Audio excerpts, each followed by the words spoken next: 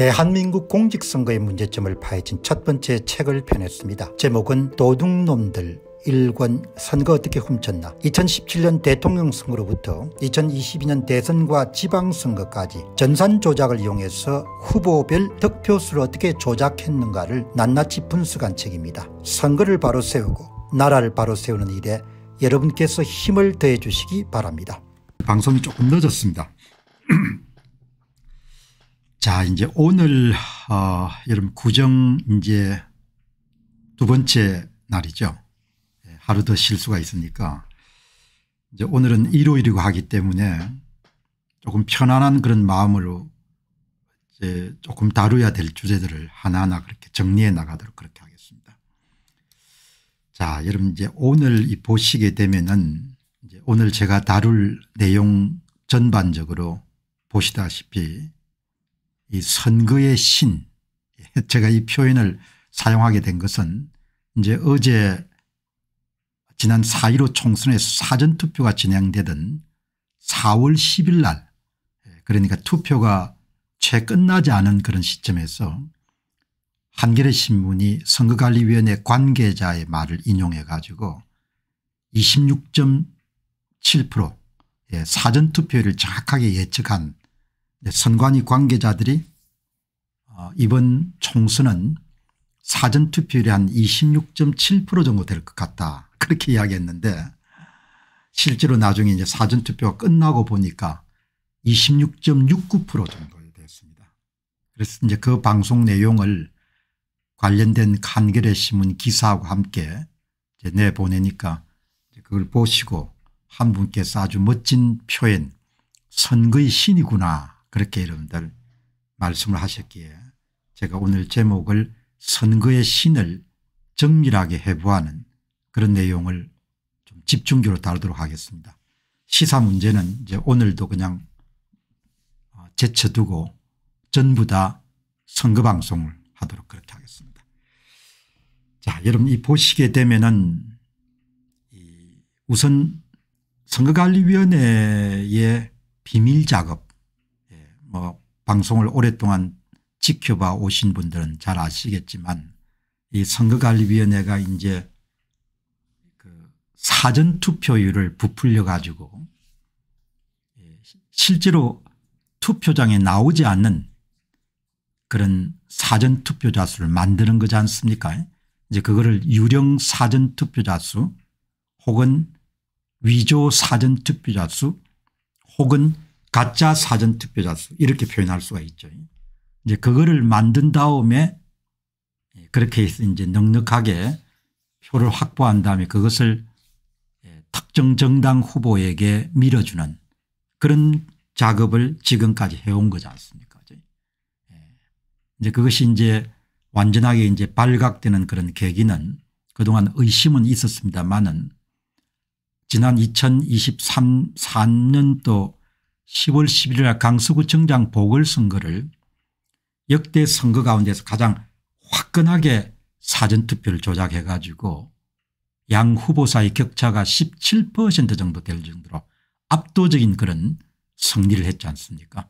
그 과정에서 아 이 양반들이 사전투표율을 조작을 해 가지고 위조 사전투표자 수를 확보한 다음에 그거를 밀어주는 방식을 사용해 왔구나 그게 이제 발각이 된 거죠. 예. 그러니까 뭐 한마디로 대충 넘어갈 수가 있었는데 이제 선거관리위원회 측에서 이제 좀 과욕을 부린 거죠. 예. 꼬리가 길면 잡힌다는 그런 옛말처럼 과욕을 부려 가지고 이 선거관리위원회의 비밀 작업에 전모가 다 이제 드러나게 된 겁니다. 그 부분들을 아마 본인들 입장에서는 가장 빼앗은 부분일 겁니다. 가장 숨기고 싶고 가장 예, 드러내고 싶지 않는 그런 사전투표율 조작을 통한 유령 사전투표자 수를 확보하고 동시에 그것을 예, 특정 정당의 후보에게 전부 다 몰아주는 전부 다 투입해 주는 그런 이제 방법을 사용했지 않습니까 그러니까 이제 그 내용을 이제 오늘도 조금 다른 측면에서 한번 정리정돈하고 특히 이제 오늘은 어, 장영우 대표께서 꾸준히 좋은 자료를 보내주셨는데 오늘도 이 소위 관내 사전투표 발급 속도 그러니까 여러분도 이제 선거에 참여해 보셔서 아시겠지만 이제 국회의원 선거는 표를 두 장 받지 않습니까? 지역구 그런 표하고 비례대표 표하고 예. 그 비례대표 표는 제법 길죠. 그러니까 인쇄되는 데만 하더라도 5.7초 정도가 걸리는 거죠. 그러니까 신분증을 제시하고 신원 확인을 한 다음에 투표 용지를 수령하는 예. 기표도장이 찍히기 전에는 투표 용지라고 부르고 기표도장이 찍힌 다면 투표지라고 부르죠. 투표 용지를 교부할 때까지 걸린 시간이 일반적으로 한 40초 정도로 봅니다. 최소 40초 정도가 국회의원 선거에서는 소요가 되는데 이제 국회의원 그런 사전투표소를 다 조사를 해보니까 놀랍게도 뭐 20초 또 20초 아래도 나오지 않습니까 그런 경우에는 공학적인 면에서 보게 되면 투표지 발급기라는 그런 기계가 최대한 생산해낼 수 있는 것이 최소 40초 정도가 소요가 되는데 평균 발급 속도가 26.7초 정도가 나오게 되면 더 많이 생산했다는 거죠. 그런데 기계는 물리적 한계가 있으니까 더 많이 생산했다는 이야기는 200장을 생산했다는 이야기는 예를 들면 은 26.7초로 200장을 생산했다. 그런데 40조면 뭐 예, 무슨 뭐한 80장을 생산한다. 그러면 120장만큼은 바로 투표소에서 발급된 게 아니고 다른 제3의 장소에서 발급됐을 가능성이 높은 거죠. 그래서 1인당 투표지 발급 속도가 대단히 중요합니다.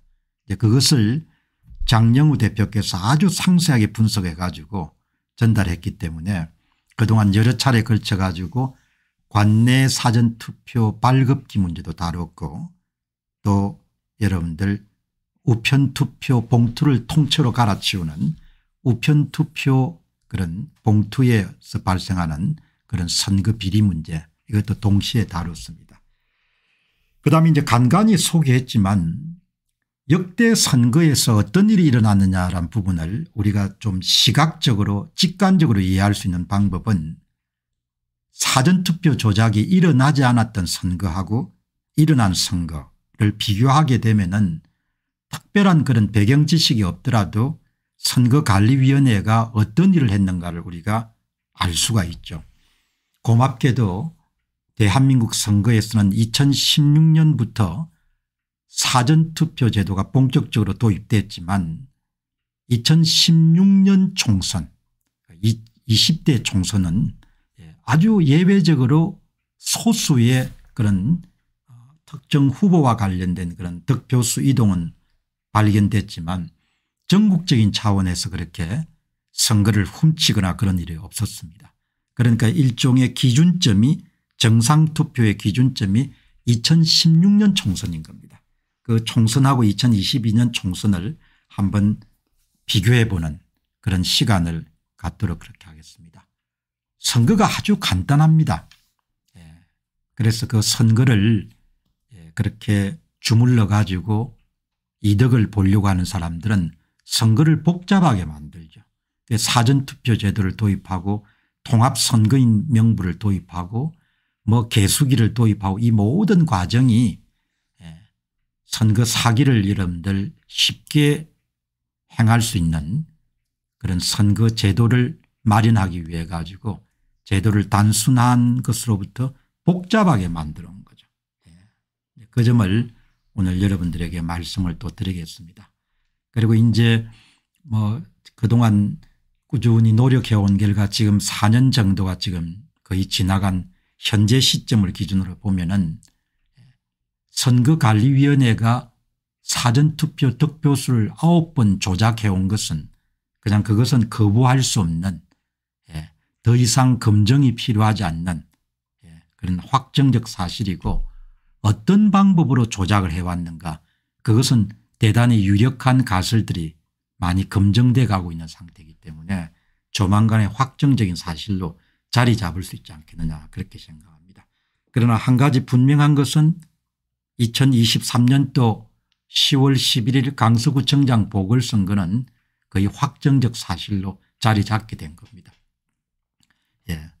뭐 예를 들면 두 장마다 한 장씩을 집어넣은 거죠. 예. 사전, 사전투표소에 투표자가 한 명, 두 명, 예, 한 사람이 사전투표용지를 교부받고 또 두 번째 사람이 사전투표용지를 교부받으면 그게 여러분들 중앙에 연결된 컴퓨터에서 인식을 할 거 아닙니까 그 다음 세 번째 세 번째에 특정 정당의 후보의 표가 찍힌 기표 도장이 찍힌 부분이 투입되는 겁니다. 그 전산 조작상으로선 가, 진짜 진짜 가짜 진짜 진짜 가짜 이런 식으로 이게 전산 프로그램이 돌아간 거죠. 예. 그래서 강서구청장 보궐선거는 정말 많은 그런 예. 뭐 그런 사실을 드러내는데 참 도움이 되는 그런 사례다 이렇게 볼 수 있겠습니다. 이제 오늘 여러분들 뭐 어떻든 중요한 것은 선거관리위원회가 선을 넘어선 겁니다. 예. 뭐 본인들이야 이렇게 발각되리라고는 생각 안 했겠지만 어떻든 그 사람들 입장에서도 그렇게 뭐 겉으로야 여러분 원래 떨리는 사람들이 막 행동을 과장해서 이렇게 나타내지 않습니까 마찬가지로 선거관리위원회에 소위 이 선거 사기 문제를 잘 아시는 분들은 뭐 마음이 편하지가 않을 겁니다. 제가 볼 때는 뭐 그냥 이렇게 겉으로야 아무 일도 없는 것처럼 그리고 조직 전체가 상당히 오랜 동안 시간 동안 연류가 됐기 때문에 예, 뭐 어떻든 악은 악대로 선은 선대로 예, 본인들이 조작해서 발표한 그 데이터 때문에 예, 자료 때문에 이제 다 걸려들게 된 겁니다.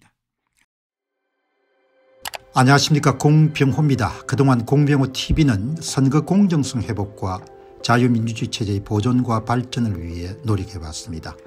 이런 노력들이 지속될 수 있도록 공병호 tv의 전기 후원 프로그램이자 멤버십 프로그램을 소개해드립니다. 뜻 있는 분들의 관심과 동참을 부탁드립니다. 선거 공정성 회복을 위한 노력을 지지하시고 훌륭한 나라 만들기에 동참하시는 시청자분들이시라면 구독 버튼 바로 옆에 있는 가입 버튼을 통해서 정기 후원 프로그램에 가입할 수 있습니다. 가입 버튼을 누르시면 공병호TV의 후원자가 되시게 됩니다. 여러분의 후원이 선거 공정성 회복을 위한 노력에 힘을 더할 수 있을 뿐만 아니라 자유민주주의 체제의 수호를 그리고 발전을 통해 여러분과 후손들의 삶에 빛과 소금이 될 것입니다. 특히 그동안 공병호TV는 선거 공정성 행보를 위한 노력 과정에서 채널 성장에 제약이 가해지는 불이익을 감수해왔고 지금도 그런 불이익이 계속되고 있습니다. 그럼에도 불구하고 너무나 중대한 문제이기 때문에 공병호TV의 노력은 계속될 것입니다. 여러분의 깊은 관심을 부탁드립니다. 감사합니다.